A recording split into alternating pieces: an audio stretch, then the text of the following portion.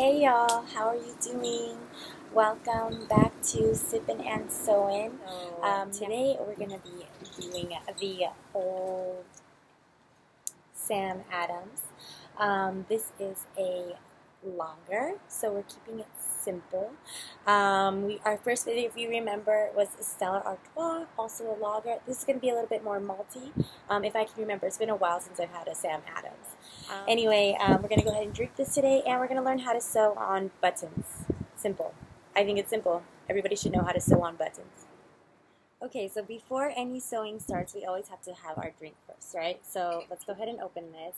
Um, as you remember, you're gonna need a bottle opener. Only, only for like the easy ones, you don't need one. Like Coors, Budweiser, that type of stuff, Anheuser-Busch. And don't forget, especially because it's a lager, it's gonna be bubbly, so you wanna turn your glass. Um, as you can see, there's head, not a super amount of head, and it is actually a little bit more brown in color than like our Stella. So get a good little bit of white on there. You can see it is a it is a Vienna lager. So um, usually Vienna lagers are categorized with a little bit of a little bit more um, maltiness, maybe more toastiness. Let's try it.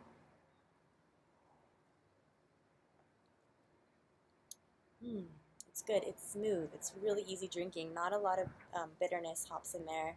Um, very carbonated. You can see the bubbles kind of moving up in there. Super carbonated, which is good, usually lagers. And remember that lagers are um, bottom fermented. The yeast, the, the lager yeast needs a colder temperature to ferment. So um, remember that with lagers. So and also also lagers you always want cold. You always want to drink them fresh. So don't wait too long. Hold off on your beers for a long time because you want them fresh. So this is yum yum. It's kind of dangerous. Very light flavor, a little tiny bits of caramel. Um, no real bitter bite to it. Um, yeah, different than like a not skunky like the Stella. Um, yeah, yum yum. Let's get some sewing done.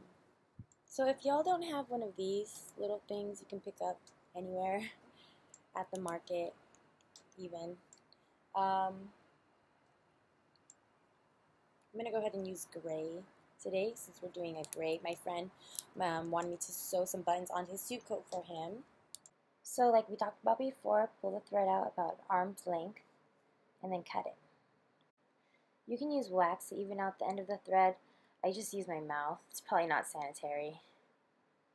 And then stick one end through the loophole on the side of the needle. Okay, so you remember how to tie a knot, right? So the needle's pointing this way to, to my right. The back end I have in my fingers. So you're going to bring the thread, I have it on my side, okay, and bring the bottom of the thread up all the way around. So you go around three or four times, pinch it with the end of the thread and pull it all the way down to the end. You've got your knot. Voila. Dear stop.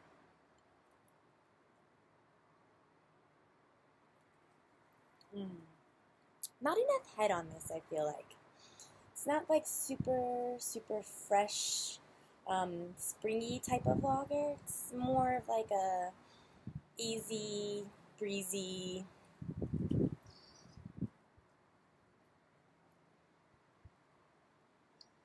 definitely a malty lager. So those of you that don't like hops at all, that's the way to go. As you can see, it's missing the top button. So this is super easy to fix. I'm going to start with the inside. There's always going to be a little hole, a little area that shows you where the button used to be. So just find that. Here you can see it's right here. Stick your needle in. See? Come to the right side. Pull it up. Since it has a knot, it's going to stay. Alright? Then, going to grab your button and just go through one of the holes. See that? I usually like to go on the diagonal, so you can see. I'm going to go straight across and right down to the button.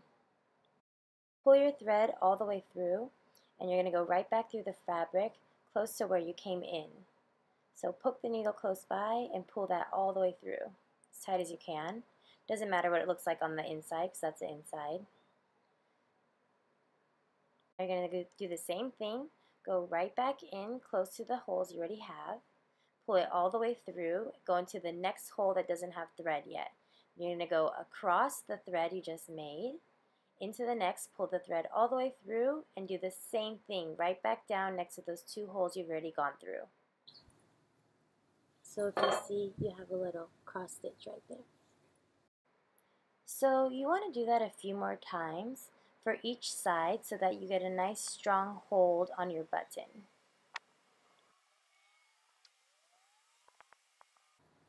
Once you get good, you can just go from poking it down into the hole straight down. Or you can go straight from the fabric right through the buttonhole. Now this time, don't go all the way down. So see if you can see the thread is in between the, the coat and the button. This is the most important part. If I guess not the most important part, but this is an important part. So you want to create a little bit of space. So you guys are going to take this and wrap it around so you can create a little bit of space. Just so the button's not sitting flush right onto the fabric. So if you can see, you have a little bit of space there. Then, pull it back through. And then to tie the knot, if you remember, just pick up a little bit of fabric with the, with the needle. Pull. And before it goes, that little loop goes all the way through. Just going to put the needle through the loop.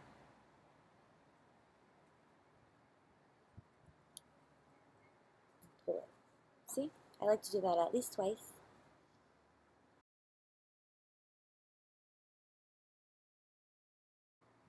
Sometimes you want to hold on to the thread because it will get, see how it got like all wonky?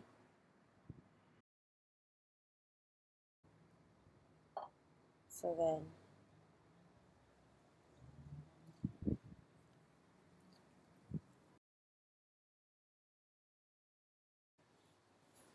and then here you go, button sewed on.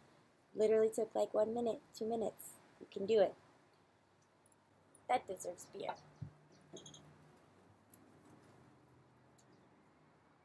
Now, I didn't get off that easy, so he wanted me to do two coat buttons. This one, if you can see, it's a little hard to see, super dangly, right?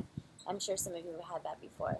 So this is going to fall off at any moment. So rather than that happen, let's cut it off and let's make a new one. Um, so that's really easy to do. Just hold and cut. So you're going to separate this, get all the threads off of there. But you're going to have all, see all these threads? Pull all the threads from the back side, cut them if they're too tight, but make sure not to cut the fabric. And drink your beer.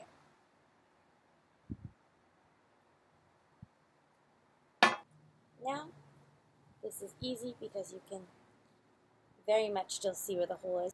Sometimes your buttons only have two holes, which is fine. Sometimes they have a little hook on the bottom, which is fine. You just do the same thing, going in and out, in and out, in and out. So now here I am. Wait, I gotta take a drink. Mmm. Spilling my beer. Am I wasted already? From one 5% Vienna lager? and Voila, button. Beer.